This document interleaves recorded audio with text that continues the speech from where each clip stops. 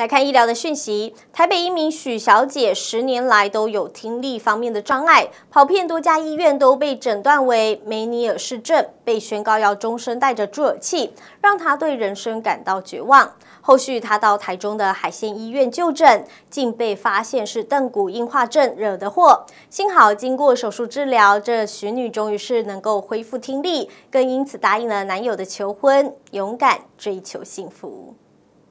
照片里比一颗米粒还小的骨头，就是耳朵里的凳骨，也是人体身上最小的骨头。当初台北的许姓小姐，就是因为凳骨硬化症，造成她十年来有听力障碍，甚至还严重到要领残障手册。幸亏后续到台中海鲜医院求诊，透过手术才解决问题。她刚开始还是晕眩，哦，那一般晕眩很容易跟梅尼尔氏症混在一起。那邓骨硬化症，因为它慢慢硬化的时候会粘连到内耳的膜迷路，所以也会造成晕眩症。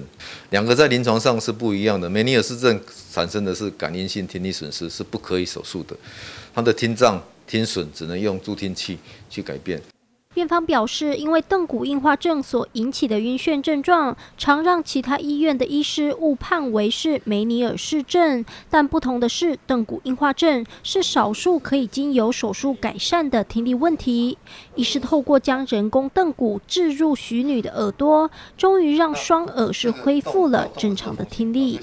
它可以把声音放大一千倍。哦，我们声音进来以后要传到内耳去。靠这三个听小骨的杠杆原理，把它放大一千倍。那邓骨是里面最重要的，它跟里面相通的。这这个女孩子她运气不错，她手术后的这个听力接近正常。